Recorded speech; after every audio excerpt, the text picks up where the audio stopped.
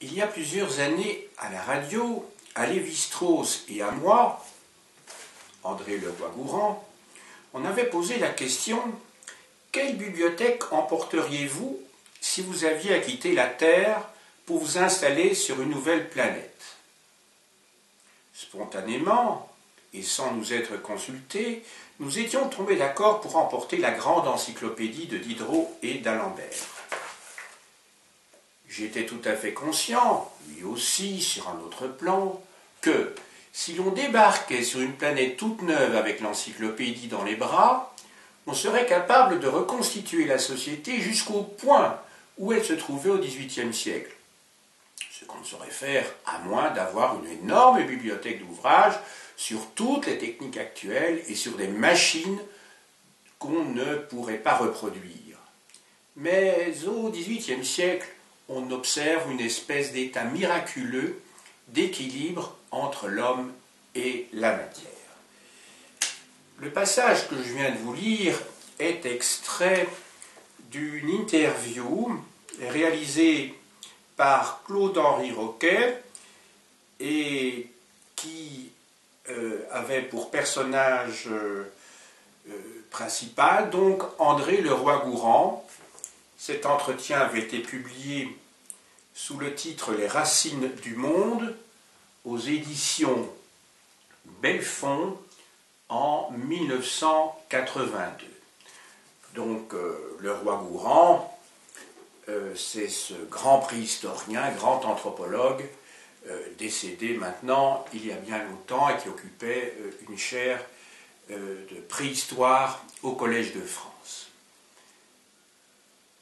Si j'ai voulu commencer cet exposé par cet extrait, c'est pour vous montrer l'importance de l'encyclopédie, celle de Diderot et d'Alembert, qui avait pour prétention de rassembler tous les savoirs euh, de leur époque.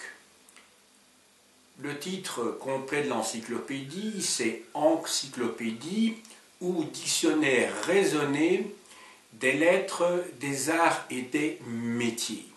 Et c'est surtout à, cette, euh, à ces derniers aspects euh, de l'ouvrage auquel se réfère André Leroy-Gourand, puisque à partir des différentes planches que l'on trouve dans l'encyclopédie, des explications qui sont données des différents métiers, justement, il y aurait moyen de reconstituer une civilisation matérielle pour des individus, pour un groupe d'individus euh, qui euh, vivraient dans une, sur une autre planète, justement, ou sur une île déserte, où ils pourraient reconstituer une civilisation vivable.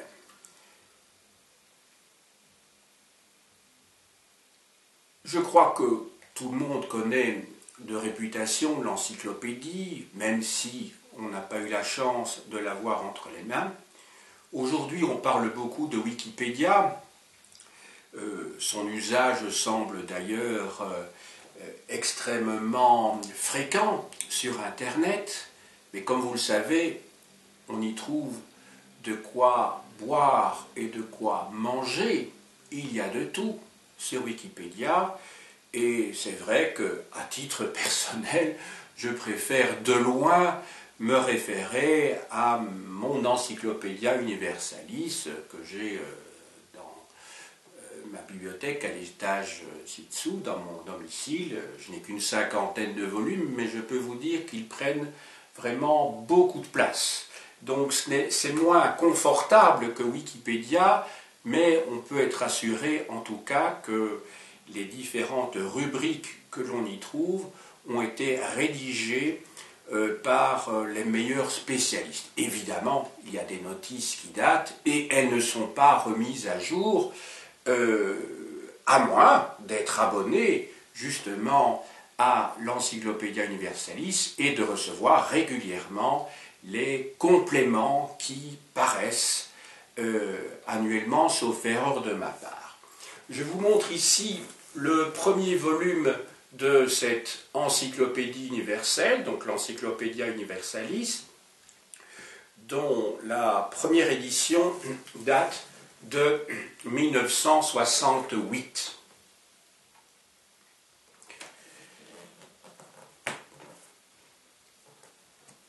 Abordons donc le sujet d'aujourd'hui qui porte sur cette entreprise véritablement euh, très lucrative, comme on va le voir, de la deuxième moitié du XVIIIe siècle.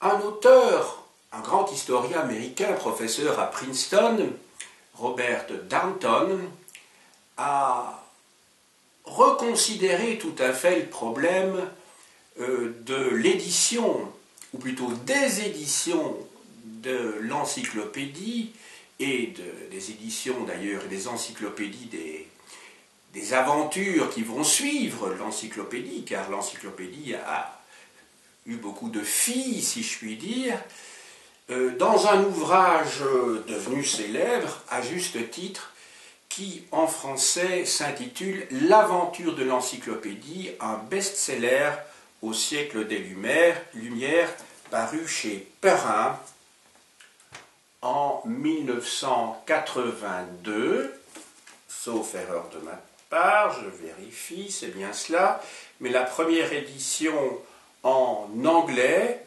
euh, date de trois ans plus tôt, 1979. Le titre anglais je le traduis directement pour ne pas écorcher la langue de Shakespeare. Donc c'est euh, l'affaire, si je peux dire, The Business of Enlightenment. Donc, euh, euh, oui, une affaire à l'époque des Lumières et qui porte pour sous-titre une entreprise éditoriale, celle de l'encyclopédie entre 1775 et 1800. Voilà, c'est un ouvrage tout à fait essentiel, bien sûr, pour aborder mon sujet. Mon plan comprendra deux parties, ce n'est pas très original, avant euh, de terminer tout à fait logiquement par une conclusion. Première partie, il sera question de l'entreprise de Diderot sur le plan euh, intellectuel, et puis, je vais aborder l'aspect éditorial, commercial. Euh, dans un deuxième temps, il sera essentiellement question donc de la diffusion de la première édition et ensuite de la diffusion des éditions qui vont suivre. Car on va le voir, effectivement, comme l'indique le titre de Darnton, il s'agit d'une véritable aventure, mais d'une aventure qui n'est pas seulement intellectuelle, mais qui est également commercial. Quel est le projet de Diderot? À l'origine, il s'agissait de traduire une encyclopédie euh, euh, anglaise, celle de Ephraim Chambers, publiée en 1728. En 1747, Diderot décide de collaborer avec un éditeur qui s'appelle Le Breton. Et l'objectif, dès lors, évolue, puisqu'il ne s'agit plus seulement de traduire euh, l'encyclopédie britannique de Chambers, mais il s'agit dorénavant euh, de publier un vaste ouvrage reprenant l'ensemble des connaissances euh, de leur temps, mais ça c'est pas original, ça se trouvait déjà dans euh, le projet de Chambers, sauf que cette fois, il va être fait appel à de très nombreux collaborateurs et l'entreprise euh, va se faire sur le sol français. donc il y aura une coloration indubitablement dans la rédaction des articles qui ne sera pas tout à fait celle euh, de la Grande-Bretagne. Les, les, Lumières sont nées en Grande-Bretagne. On a entendu tout à l'heure que euh, dans le titre original de Darton, il est question de Enlightenment, donc euh, l'éclairage, c'est-à-dire les Lumières en anglais. puisque c'est de là que d'Angleterre que partent, d'Angleterre mais aussi d'Écosse, on oublie parfois, vaut mieux dire de la Grande-Bretagne, que partent les Lumières. on peut situer le début des Lumières à la fin du XVIIe siècle déjà, avec des personnages comme John Locke. Newton est également un initiateur de ce mouvement qui est un mouvement intellectuel et scientifique. Quelles, sont, quelles vont être plutôt les dimensions de cette encyclopédie? Alors cette encyclopédie va, après une souscription sous forme de prospectus qui est lancé en 1750, cette euh, encyclopédie commence à paraître en 1751 et pour euh, les volumes et les planches au sens strict, cette entreprise va s'étendre sur 21 ans puisque entre 1751 et 1772,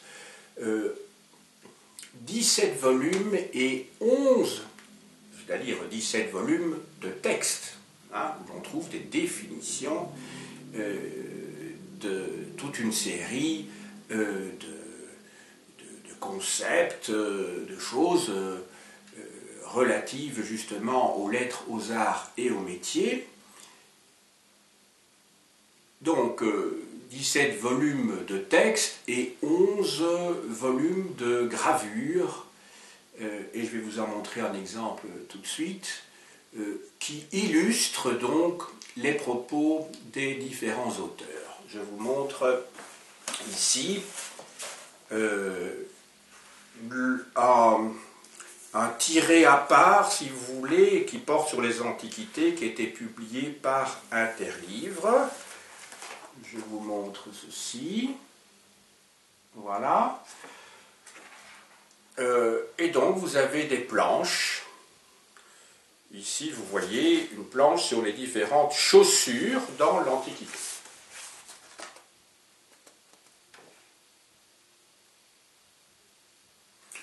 Autre exemple.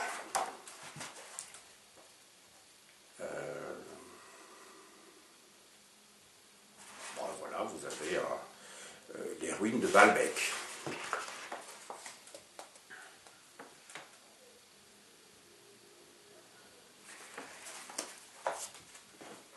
Mais à côté de ces 17 volumes de textes et de ces 11 volumes de, de, planches qui paraissent donc entre 1751 et 1772, il y a ensuite cinq volumes de compléments de texte qui vont paraître et deux volumes qui ne sont rien d'autre que des tables analytiques qui permettent donc de s'y retrouver donc dans les volumes de texte et les volumes de planches. Ce qui nous fait au total, si je calcule bien, 17 plus 11 plus 5 plus 2, ce qui nous mène à 35 volumes. Publiés, alors là, il faut ajouter 8 ans par rapport à 1772. Donc, euh, ces 35 volumes de cette première édition sont donc édités de 1751 à 1780, donc pratiquement 30 ans, 29 ans. Donc vous voyez qu'il s'agit, bien entendu, d'une œuvre de très longue haleine.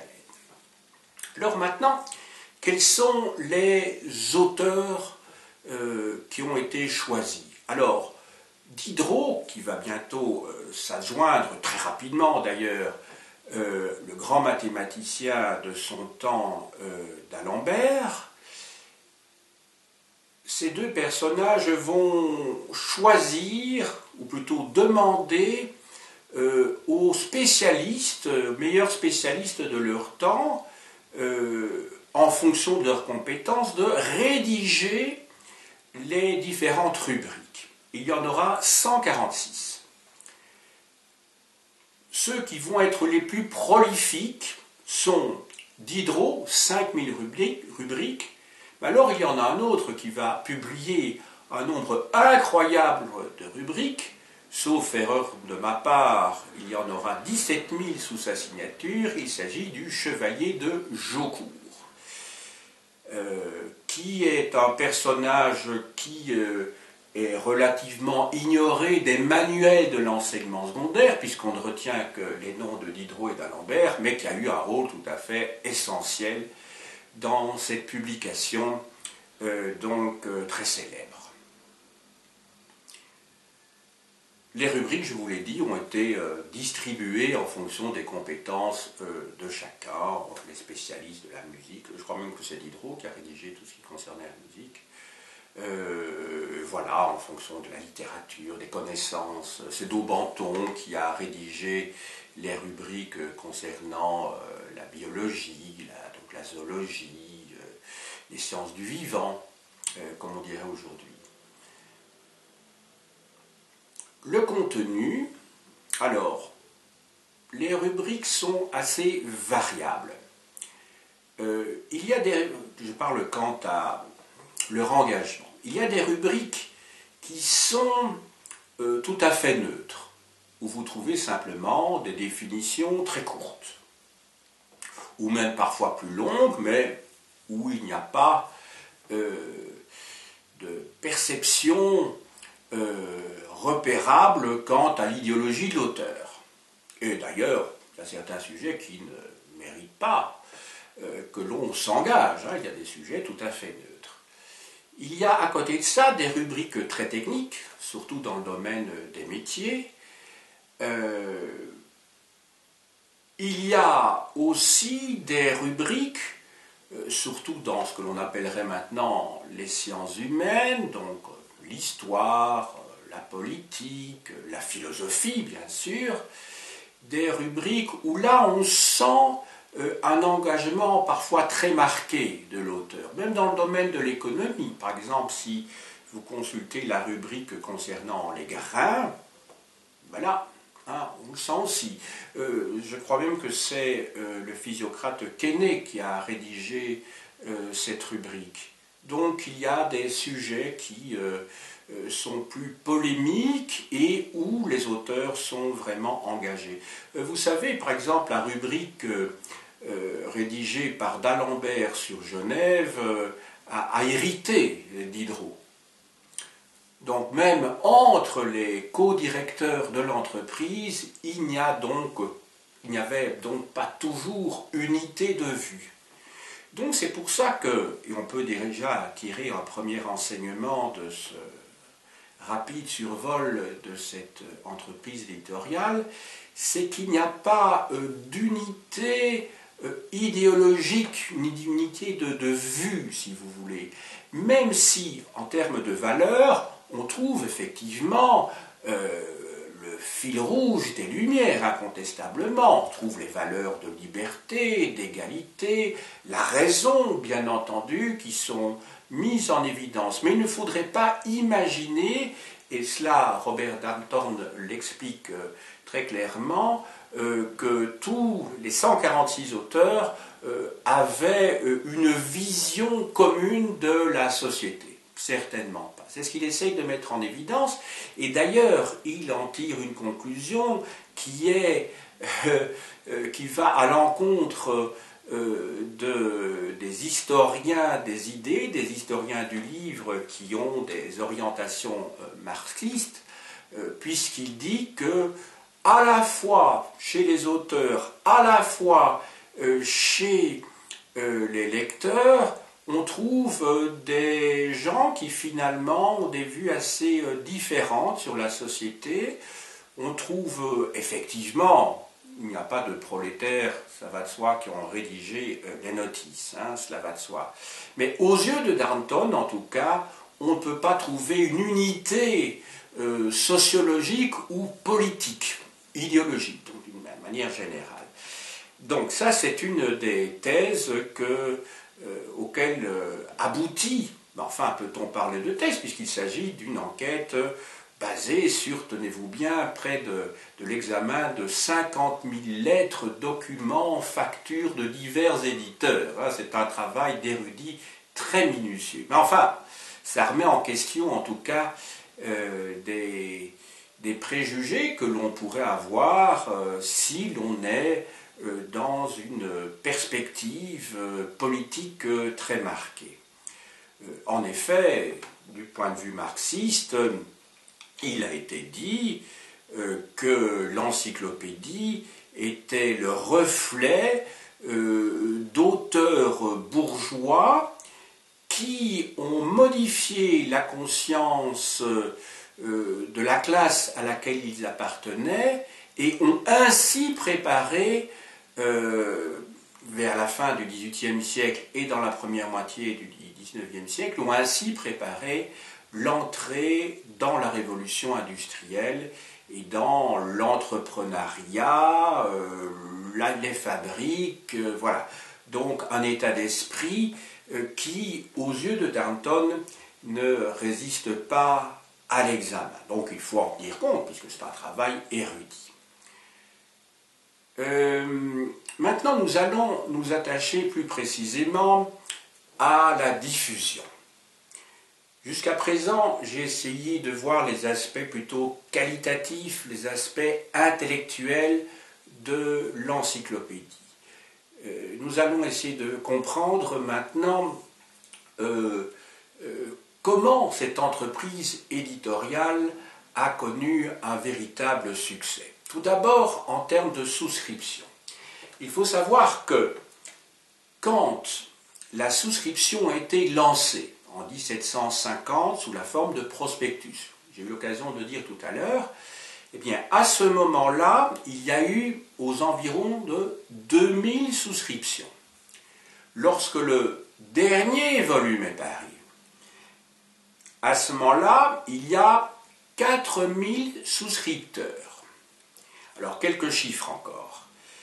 Euh, il faut savoir qu'à la fin de la publication de l'encyclopédie, la souscription à l'ensemble des volumes euh, était de 1000 livres. Alors 1000 livres, ça correspond au salaire annuel d'un ouvrier qualifié.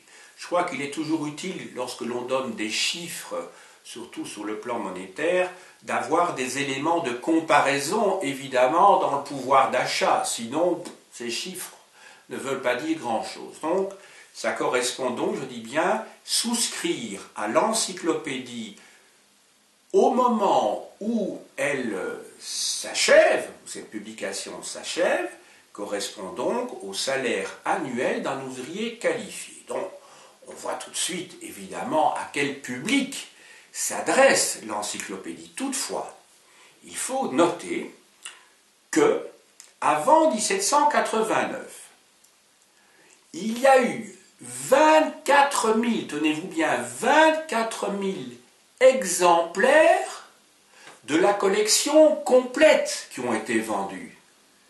Ce qui montre quand même que le niveau de vie était quand même pas si faible que cela dans, évidemment, certaines couches de la population mais que ces gens, ce public cultivé, étaient prêts à acheter euh, l'encyclopédie, 24 000. Et sur les 24 000, il y a une proportion plus ou moins équivalente entre la France et tous les autres pays d'Europe. Voilà. Donc voyez un petit peu l'ordre de grandeur.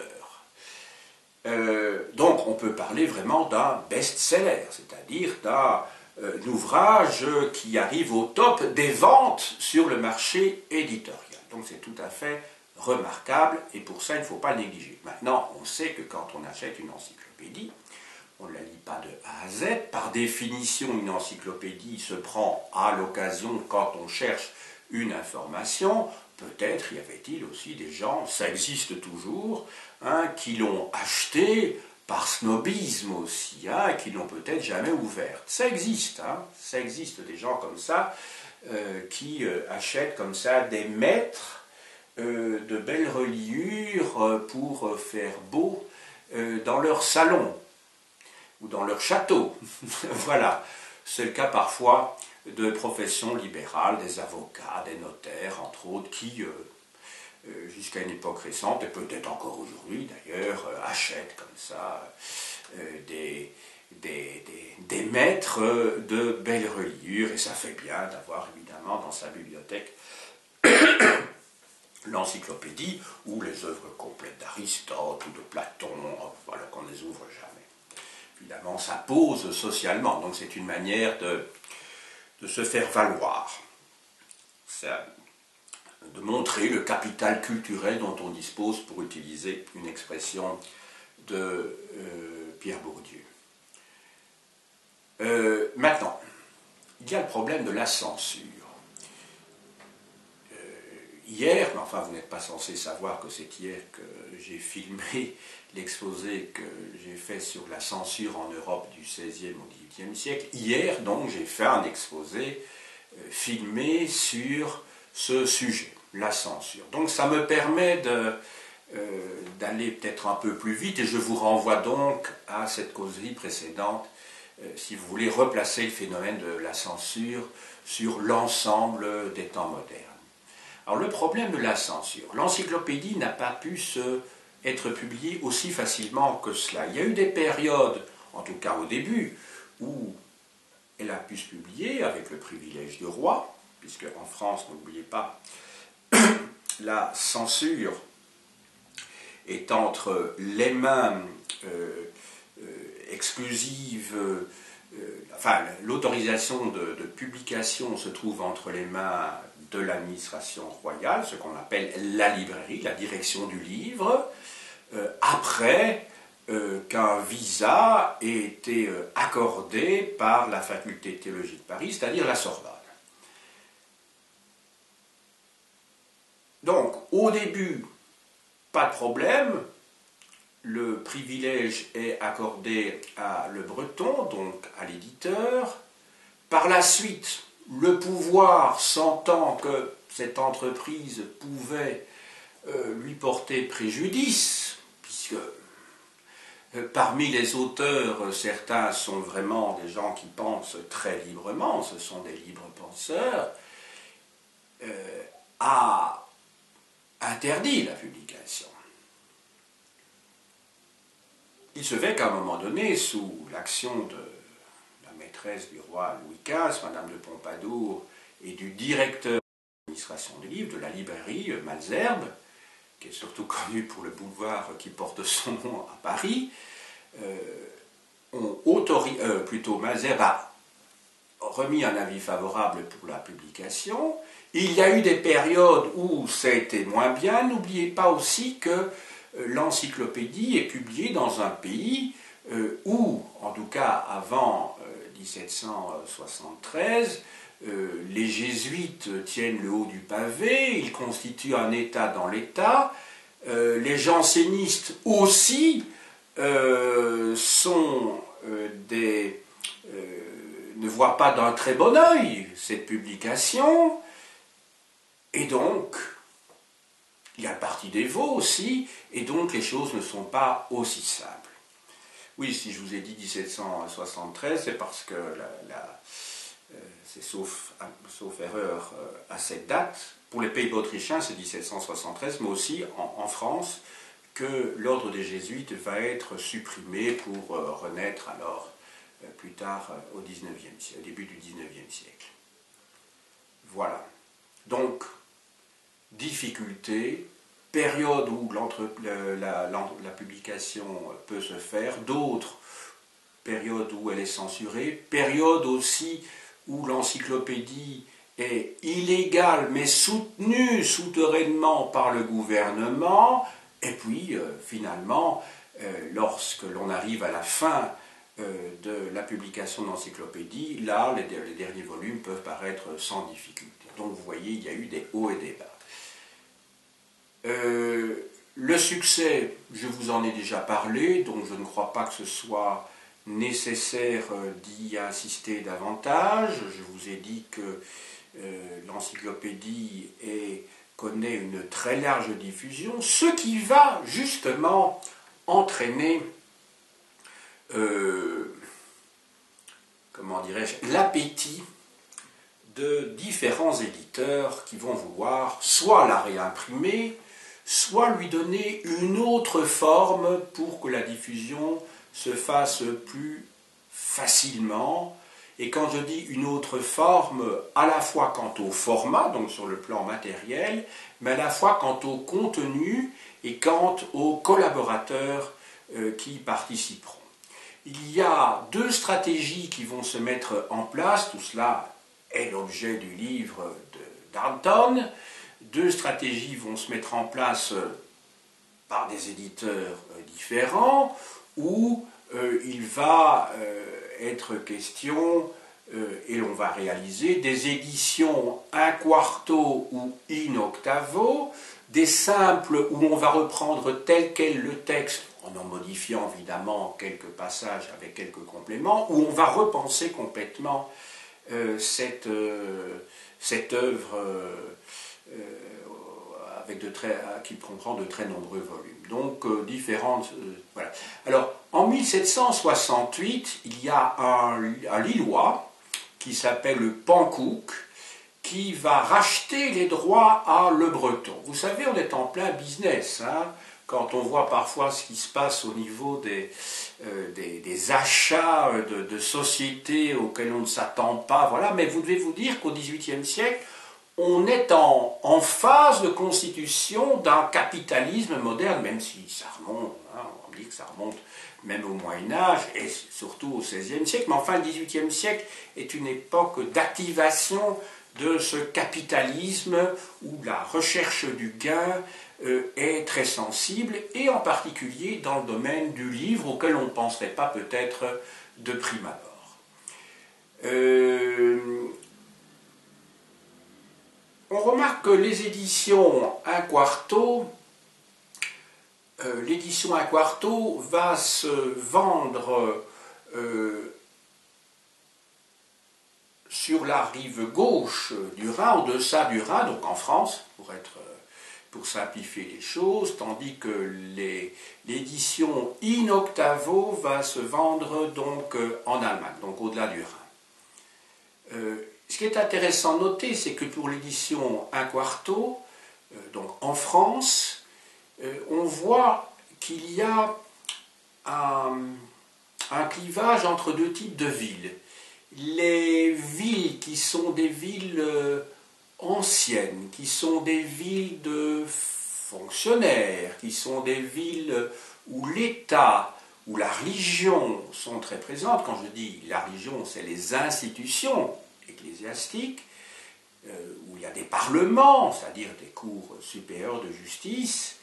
Euh, là, les ventes se font en très grand nombre, tandis qu'en revanche, dans des villes de type commercial, qui ont une vocation commerciale ou industrielle, parce que c'est le début, hein. n'oublions pas la révolution industrielle dans la deuxième moitié euh, du XVIIIe siècle, là on voit que les ventes sont nettement moins euh, nombreuses.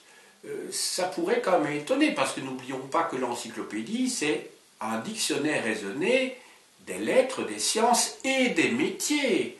Les métiers participent de l'industrie, justement.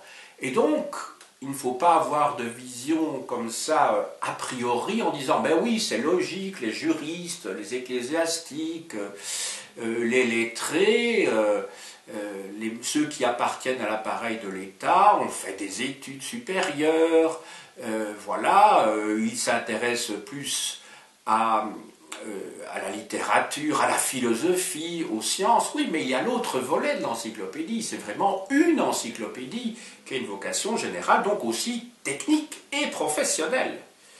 Et professionnelle. À cette époque-là, il n'y a pas cette euh, division en termes de savoir, dans l'organisation du savoir, en tout cas, entre d'une part ce que l'on appellerait maintenant des humanités générales et d'autre part euh, l'enseignement technique et professionnel, ça viendra plus tard, hein. ah. à l'époque de la deuxième révolution euh, industrielle, c'est-à-dire à partir de la fin du 19e siècle, première moitié du 20e siècle, là on va créer un enseignement technique et professionnel dans le cadre de la division du travail euh, pour mettre au travail des, des, enfants ou des adolescents plutôt euh, issus de milieux ouvriers qui deviendront des techniciens euh, spécialisés parce qu'on en a besoin dans l'industrie, bien sûr. Ce n'était pas dans un but humanitaire comme on pourrait, si l'on est un petit peu naïf, le croire dans un premier temps. Euh, Pankouk va mettre au point une encyclopédie méthodique, c'est ce qu'on appelle aussi la méthodique. Euh, cet ouvrage va être publié entre 1782 jusqu'en 1832. Donc cette euh, publication s'étend sur un demi-siècle. C'est énorme. Mais Pankouk lui-même va décéder euh, en 1799 au mois de décembre, euh, sauf erreur de ma part. En tout cas, donc, il s'agit d'une entreprise tout à fait euh, remarquable. ce qui est typique aussi, c'est que lorsque l'on consulte les volumes de la méthodique de Pankouk, on y trouve un choix qui est très différent pour, euh, pour les auteurs. En effet, on y trouve euh, des auteurs euh, beaucoup plus spécialisés, des savants, des techniciens, ce qui était partiellement le cas, bien entendu, pour l'encyclopédie de Diderot et d'Alembert, sauf qu'ici, on assiste à une spécialisation véritablement, et donc l'encyclopédie méthodique de Pankouk est davantage scientifique qu'idéologique, dans la mesure où, euh, je vous ai dit, le projet n'était pas du tout euh, unitaire hein, dans l'encyclopédie Diderot et d'Alembert, mais enfin, il y avait quand même de la science, hein, incontestablement, il y avait de la technique, mais enfin, il y avait quand même un aspect idéologique, il y avait des articles euh, rédigés par ceux qu'on appelait à cette époque-là, qu'on appelle toujours euh, euh, spécifiquement pour le XVIIIe siècle les philosophes, écrits par des philosophes, tandis que les philosophes disparaissent en fait dans l'encyclopédie méthodique de Pankouk. je ne vous ai pas parlé des autres éditeurs parce que ça nous mènerait trop loin. Il y en a eu plusieurs. L'encyclopédie a été publiée dans plusieurs villes d'ailleurs, dans plusieurs pays. Euh, c'est le cas de Luc, par exemple, en Italie, ce qui a fait vivre d'ailleurs euh, des ouvriers typographes euh, dans cette petite république italienne. Voilà. Alors, je réfléchis si j'ai encore des choses à vous dire. Il faut savoir que dans la fabrication de l'encyclopédie, 57%, donc pratiquement donc, euh, près de 60% donc, du coût de la fabrication est lié au papier. Alors ça nous paraît énorme quand on voit les, coûts éditoriaux à l'heure actuelle. Le papier évidemment pas cette place-là, cela va de soi.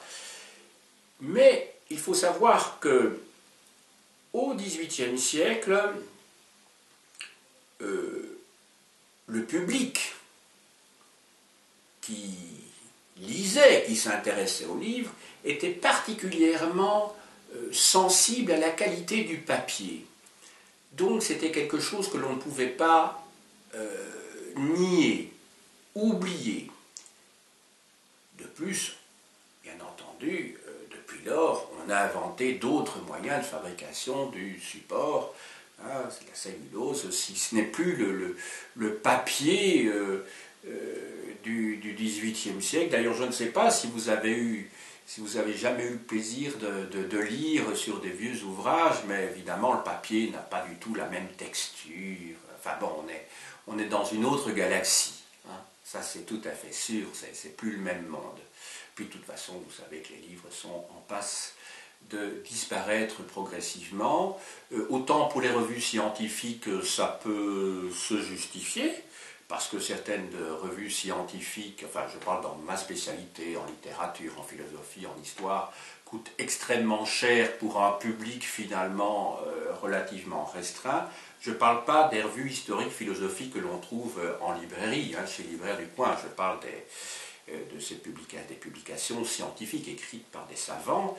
Ça coûte très cher pour un public restreint et c'est vrai que la mise en ligne euh, paraît, euh, pour ce type de publication, euh, justifié. Il paraît inévitable qu'à terme, ces revues disparaissent de la circulation. En revanche, pour les livres, ce serait bien dommage, mais contrairement à ce qu'on a pu penser à un moment donné, les e-books ne remplacent pas pour l'instant, il n'y a pas un engouement pour ce type de livre. Hein. Et d'ailleurs, enfin moi, bon, évidemment, j'appartiens à une génération qui n'a jamais eu ce genre de choses en main, mais c'est tellement plus gai, euh, à mes yeux, de pouvoir tourner les pages. Enfin, vous me direz, c'est une question d'habitude, mais moi, je ne peux pas lire sans avoir un crayon en main. Et donc, euh, voilà, ça me paraît tellement facile euh, d'indiquer mes réflexions dans la marge, de pouvoir retourner en, arrière, de mettre des signets, enfin ça me paraît tellement plus simple. Vous savez, bon, moi j'ai une bibliothèque euh, que j'ai rassemblée au cours de, ma vie, de ma carrière, et qui m'est bien utile et qui me permet de trouver des tas de choses et directement, parce que je connais l'emplacement de, tous les livres, j'en ai quand même quelques milliers, et je les trouve tout de suite. Alors qu'il m'a fallu beaucoup de temps avant d'arriver à, l'informatique, je me suis mis finalement, mais euh, voilà, je ne trouve pas toujours ce que je veux, en tout cas des choses d'aussi bonne qualité que ce que j'ai dans ma bibliothèque. Enfin, ceci dit, c'est vrai que c'est très encombrant et que ça peut euh, occuper des surfaces euh, euh, assez, assez énormes. J'en arrive maintenant à la conclusion. Alors, cette conclusion, elle va s'articuler autour des thèses de Robert Darnton. Je vous l'ai dit tout à l'heure, pour Robert Darnton, euh, les auteurs n'appartiennent pas à, de l'encyclopédie dans sa première édition, n'appartiennent pas à un milieu homogène, euh, même si socialement, évidemment, euh, ils appartiennent à la classe des lettrés, mais il n'y a pas d'unité idéologique parce qu'il y a quand même des conservateurs pas des, grands conservateurs. Il n'y a pas des anti-lumières, par contre, hein, dans l'encyclopédie. Soyons bien clairs, mais enfin, tous n'ont pas la même vision de la société et la même vision de l'organisation euh, de, l'État. Euh, ça, c'est une chose. Deuxième chose, c'est que Darnton explique que on a tort de considérer que l'encyclopédie de Diderot et d'Alembert participe des causes de la Révolution française de 1789. À ses yeux, pas du tout. Ou plutôt, l'encyclopédie constitue plutôt, pas du tout, ici le terme que j'ai utilisé est peut-être un petit peu fort, hein, j'exagère un petit peu mais euh, à ses yeux, l'encyclopédie fait plutôt le lien entre l'ancien régime et le nouveau régime qui succède euh, donc au précédent. Euh, il fait le lien, mais il ne prépare pas la révolution. C'est en tout cas une des conclusions à laquelle il aboutit après cette vaste enquête on peut toujours reprocher à Darnton d'avoir des positions euh, qui ne sont pas celles euh, des marxistes. Mais néanmoins, la science érudite qu'il met en œuvre dans son livre euh, doit être évidemment et en premier plan mise en évidence. Ça paraît aller de soi. Ce qui est sûr en revanche, c'est que l'encyclopédie, si elle n'a pas préparé la Révolution française, elle l'a accompagnée. Danton explique que pour lui, les encyclopédistes ne sont pas les ancêtres du jacobinisme,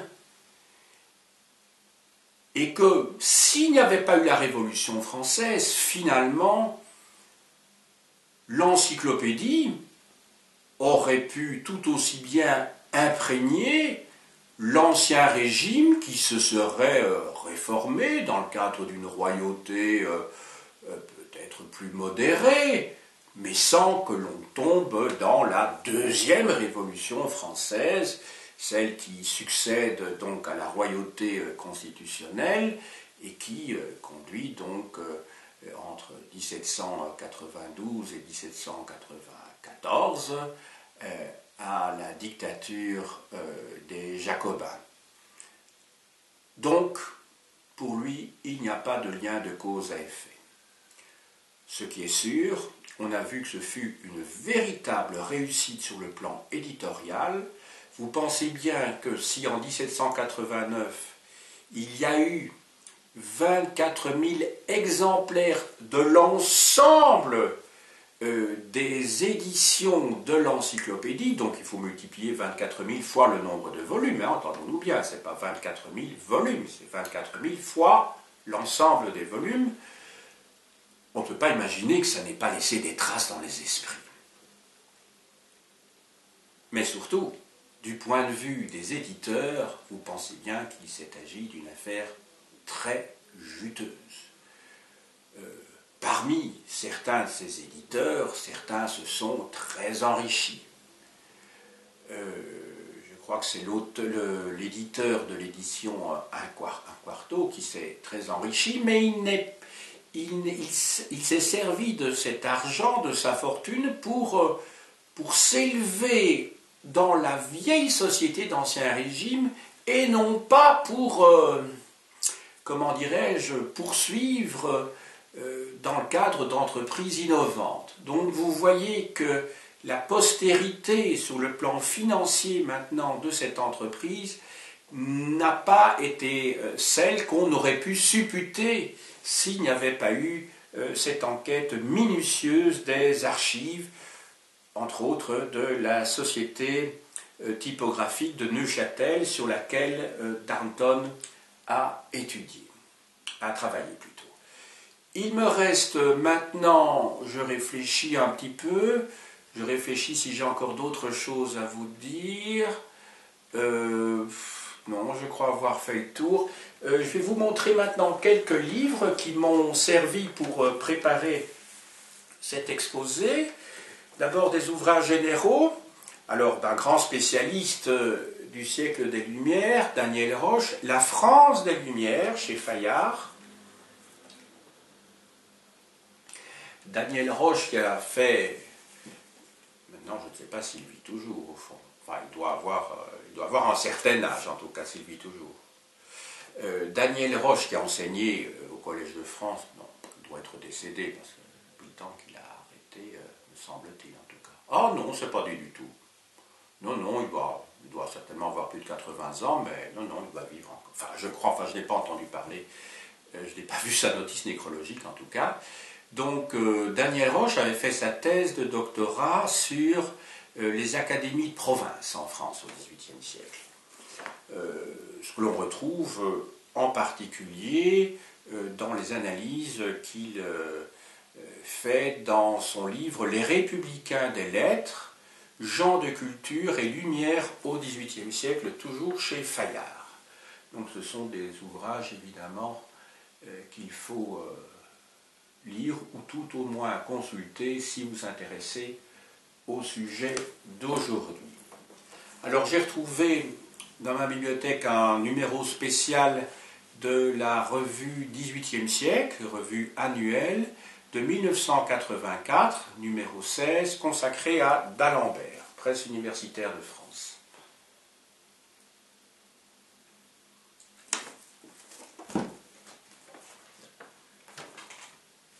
Euh, ah, ben je vais vous lire quand même. Euh, oui, je me suis servi aussi, bon, pour la préparation de l'encyclopédie euh, sous forme d'extrait de Diderot et d'Alembert chez Flammarion, dans les livres qui ont changé le monde, c'est toute une collection. Mais je crois que je vais vous lire quand même l'un ou l'autre passage, hein, parce que c'est un petit peu bête.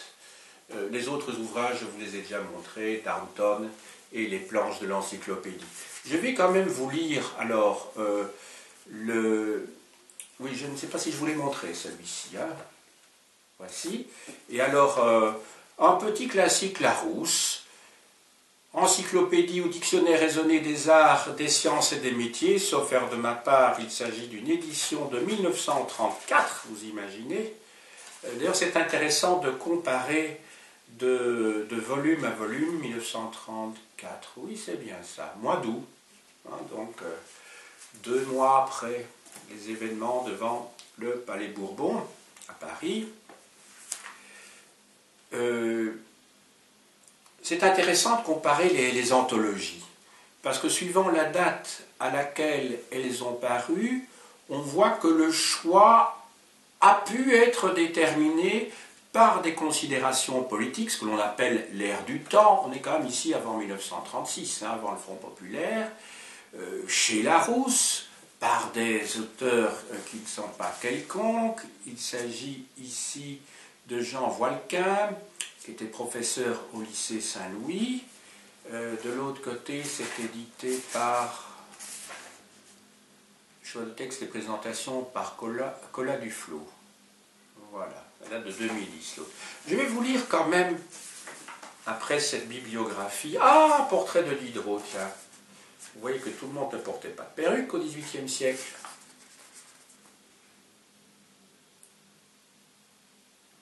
Alors, c'est un portrait du à Levitsky. Je vais vous lire un extrait de son discours préliminaire, première partie. Euh, qui s'intitule But de l'encyclopédie Généalogie nos connaissants. Donc il explique son projet. Il dit ceci.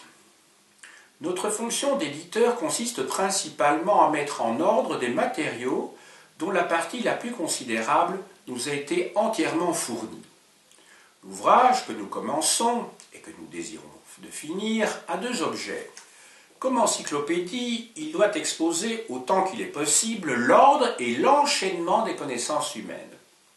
Comme dictionnaire raisonné des sciences, des arts et des métiers, il doit contenir sur chaque science et sur chaque art, soit libéral, soit mécanique, libéral est entendu ici dans le sens des, arts libéraux, hein.